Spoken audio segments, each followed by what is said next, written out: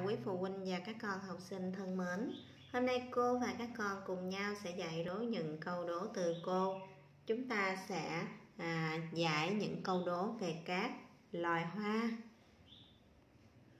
Trước tiên chúng ta sẽ à, có câu đố số 297. Hoa gì có màu trắng, mùi thì thơm dịu, được trồng trong các bồn hoa có thể dùng để ướp trà để uống. Cô gợi ý cho các con à, hoa này được trồng để làm cảnh. Câu số 297 cô đọc lại câu đố. Hoa gì có màu trắng? Mùi thì rất là thơm thơm nhưng mà dịu được trồng trong bồn hoa và có thể dùng để ướp trà uống các con sẽ có 10 giây suy nghĩ cho câu số 297 này.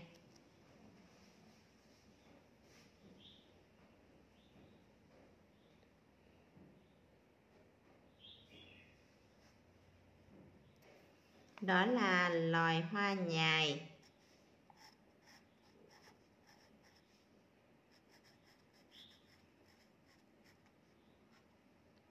Cô tiếp câu số 298. Hoa gì cánh nhỏ màu tim tím? Cánh nhỏ màu tim tím xuất hiện trong lời của bài hát Bà thương em. À, đây là cái loài hoa rất là dễ đúng không các con? Các con cũng có 10 giây suy nghĩ cho câu 298.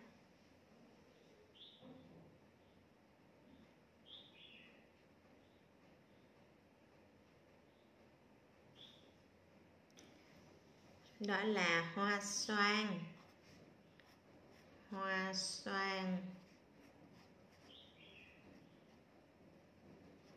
Rồi, cô chuyện xuống câu 299 các con xem, hoa gì trắng xóa núi đồi, bản làng thêm đẹp khi trời vào xuân. Gợi ý cho các con tên của loài hoa này thêm dấu huyền sẽ thành đồ dùng học tập. À, đó là hoa gì đây cô sẽ hoa gì trắng xóa núi đồi. Bản làng thêm đẹp khi trời vào xuân đó là hoa gì các con cũng có 10 giây để suy nghĩ cho câu đố trên.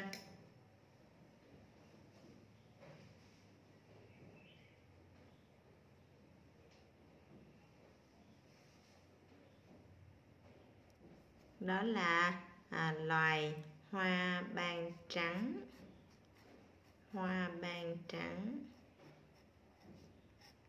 Đây là một cái loài hoa khi nở rộ nở rộ thì à, trắng xóa ruộng trắng xóa cả núi đồi.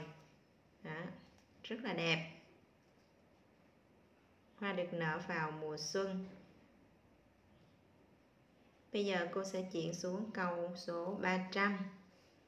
Cây hoa gì sống ở ao hồ có tên cùng tên với một loại vũ khí dùng trong chiến đấu hoặc đi săn. Hoa này có cái màu tím hoặc là màu hồng. À, cô sẽ đọc lại câu số 300. Hoa gì sống ở ao hồ có tên à, cùng với một cái tên loại vũ khí trong chiến đấu hoặc đi săn hoa này thì có màu tím hoặc là màu hồng. Và nó cũng có màu trắng rất là đẹp.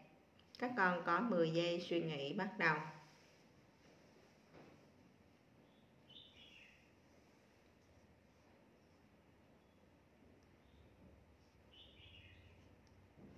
Đây là loài hoa súng. Hoa này là hoa súng đó con.